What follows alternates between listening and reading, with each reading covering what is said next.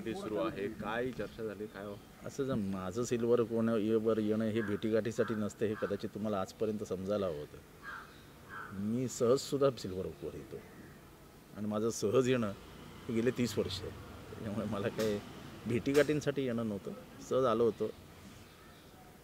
Current राजकीय परिस्थिती काय आहे त्याच्यावर काय साहेबांचं मत काय एवढंच फक्त चर्चा असते. बाकी काही नसते. काय वाटतं स्थितीला सुधार असं वाटतं?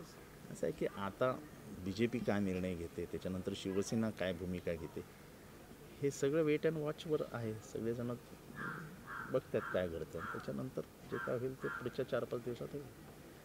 काय शक्यता काय वाटतं? पाच वाजता?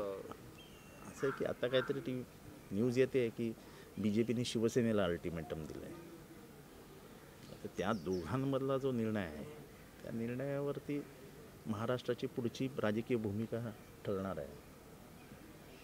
म्हणजे निर्णायक अवस्थेत कोणीच नाही आहे एक अस्व राजकीय अस्वस्थता आहे.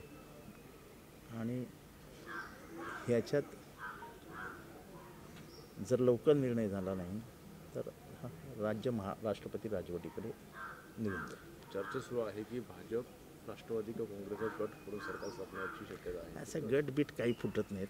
महाराष्ट्र म्हणजे कर्नाटका किंवा गोवा नाही आहे की तुम्ही पन्नास कोटीचा डाव लावला आणि आमदार पळाले.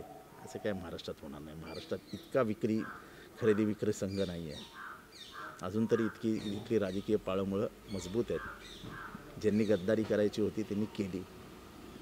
आता तसं होईल असं मला वाटतं. भाजपने शिवसेनेला अल्टिमेटम कळतंय जर भाजप सेनेचं सरकार बनू शकलं नाही तर शिवसेना राष्ट्रवादी काँग्रेस हे समीकरण लवकरच पाहायला मिळेल. का असं मला आत्ता तरी वाटत नाही. वेट अँड वॉच भूमिका थियो अहिले?